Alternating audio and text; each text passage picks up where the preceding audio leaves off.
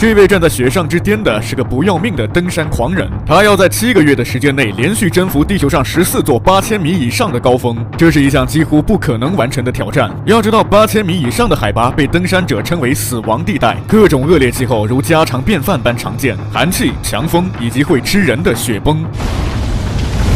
更何况是连爬十四座。截止日前，有着登山教父之称的莱茵霍尔德完成这项壮举，足足花了十六年，而最快的记录也要七年的时间。因此，当来自尼泊尔的攀登者尼姆斯宣称只用七个月爬完十四座八千米高峰时，震惊了整个登山界。尼姆斯将登山任务分成了三个阶段：第一阶段在尼泊尔境内，他要成为历史上首位在春季登顶六座八千米高峰的登山者；第二阶段在巴基斯坦境内，届时他会登顶乔格里峰，一座只有幸运儿才能征服的山峰；第三阶段。则在中国连续攀登马纳斯鲁峰、卓奥友峰以及世界最高山脉喜马拉雅山。出发前，尼姆斯组建了一支顶尖的登山者团队，跟他一起完成这项会载入史册的挑战。准备就绪后，他们乘坐直升机出发。尼姆斯要征服的第一座山峰是安纳布尔纳峰，海拔高达八千零九十一米，是著名的死亡峰，每三个攀登者就会有一人遇难。很快，尼姆斯团队就领教到他的可怕之处，刚爬到一半就遭遇雪崩，好在距离比较远才躲过一劫。为了安全起见，他们每走一步步。都要用登山镐开路，后面的人则顺着固定好的绳索缓慢地往前行。随着距离山顶越来越近，脚下的积雪也越来越厚，每一步都是寸步难行。这时，有的队员已经萌生退役，而尼姆斯作为队长则不停鼓舞他们：“Giving up is not in the blood, sir. It's not in the blood.”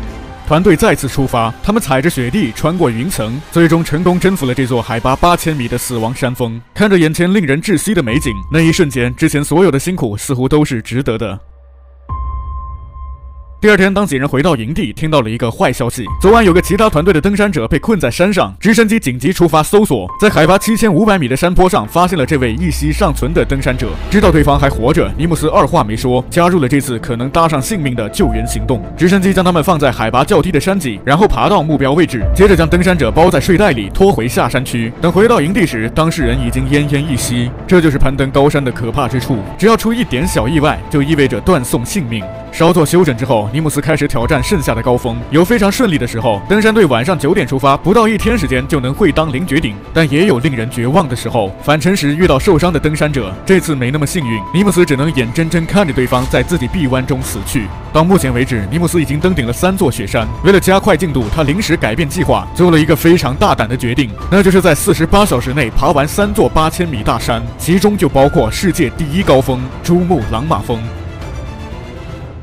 这是一次史无前例的登山挑战，在四十八小时内登顶三座海拔八千米以上的高峰，包括洛子峰、马卡鲁峰以及世界最高的珠穆朗玛峰。为了完成这项极限挑战，登山队放弃一切多余的休息时间，连夜进行赶路。一路上共有四百名登山者，在另外四百名夏尔巴人的带领下向山顶进发，成功在日出前登顶珠峰。下山路上，登山狂人尼姆斯用相机拍下了这壮观的一幕。最终在四十八小时内又接连征服了海拔八千五百一十六米的洛子峰以及海拔八。千四百六十三米的马卡鲁峰创下了新的世界纪录。尼姆斯随后将这个过程传到社交网络上，很快在全球传播开来，登上《纽约时报》的头条，各家媒体争相报道，他成为了登山界最炙手可热的新星。尼姆斯把这一喜讯告诉家人，而母亲却因为担心他的安危，默默擦拭着眼泪。哥哥则跟他大吵一架，认为他不务正业，好好工作不干，非要去雪山上送死。为了这次登山挑战，他自断前途，赌上了所有。原来，在成为登山者之前，尼姆斯凭借出色的身体素。素质已经成为史上第一位入选英国特种部队的库尔喀人，只要服役期满就可以领取高额的退休金。但在一次任务中，他与死神擦肩而过。之后，尼姆斯便做出决定，要把有限的时间用在更有意义的事情上。于是他提前退役，全职登山，让本就不富裕的家庭失去了重要的经济来源。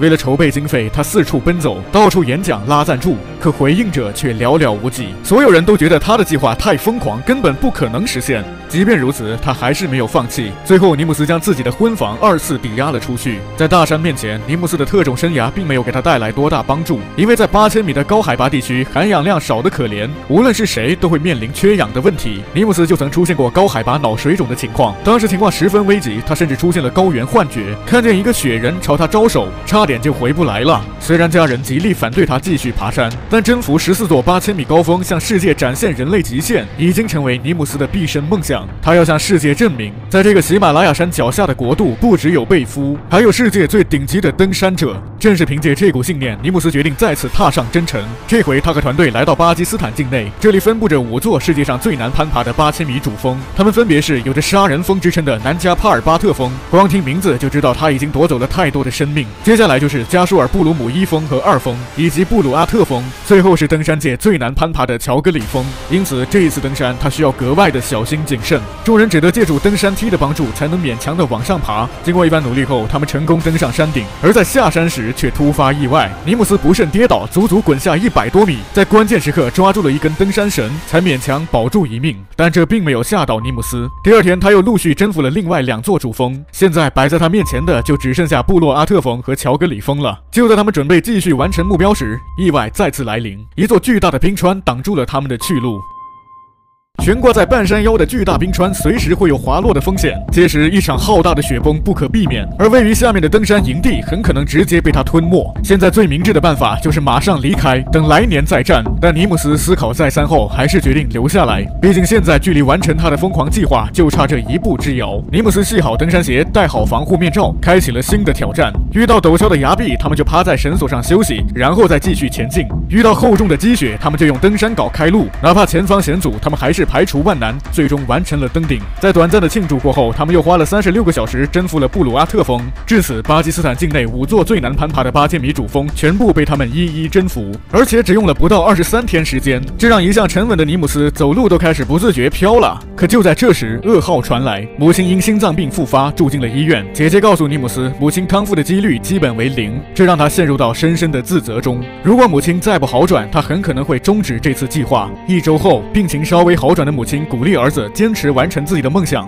可就在这时，又传来了两个坏消息。出于安全考虑，中国驳回了他们攀登西夏邦马峰的请求，同时卓奥友峰也将在下周关闭。他现在必须尽快动身起来，来不及休息，他便朝着卓奥友峰和马纳斯鲁峰山顶爬去。顺利登顶后，现在距离他完成最终目标就只差一座西夏邦马峰了。为了获得登山许可，尼姆斯不停地拜访当地有名望的人，希望借助他们的影响力帮自己一把，同时在网上发文寻求网友帮助，很快就获得全。球各地网友支持，最终在国际友人的帮助下，他如愿以偿地获得了通行证。但想要征服西夏邦马峰又谈何容易？自从2014年以来，就再也没有人成功登顶，因为山上的气候变化多端，凛冬的寒风会遮挡住登山者的视线，时不时发生的雪崩更是他们面临的最大障碍。好在尼姆斯克服万难，凭借顽强的意志，最终带领队伍征服了这座雪山。登顶后，他接通了无线电，第一时间把这个好消息分享给母亲。这些天的努力，他不仅完成了连续征服十四座八千米高峰的计划。而且比预想的七个月时间提前了将近一个月，直接打破六项世界登山纪录。而面对外界各种赞扬，尼姆斯却表示，这仅仅只是开始，接下来他还会有更宏伟的目标。相信不久的将来，这位创造过奇迹的男人会给我们带来更多的奇迹。